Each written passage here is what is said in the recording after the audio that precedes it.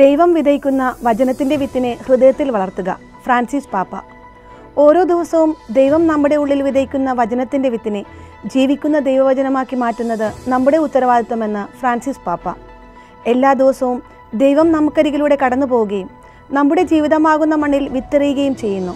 ആ മുളയെ വളർത്തി അതിനെ ദൈവത്തിന്റെ ജീവിക്കുന്ന വചനമാക്കി മാറ്റുന്നത് നമ്മുടെ പ്രാർത്ഥനയെയും തുറന്ന ഹൃദയത്തോടെ തിരുവചനത്തെ സമീപിക്കുന്നതിനെയും ആശ്രയിച്ചാണ് ഇരിക്കുന്നതെന്ന് ഫ്രാൻസിസ് പാപ്പ ഉദ്ബോധിപ്പിച്ചു. ലോകത്ത് പട്ടിണി അനുഭവിക്കുന്നവരുടെ എണ്ണം വർദ്ധിക്കുന്നു. ഐക്യരാഷ്ട്രസഭ.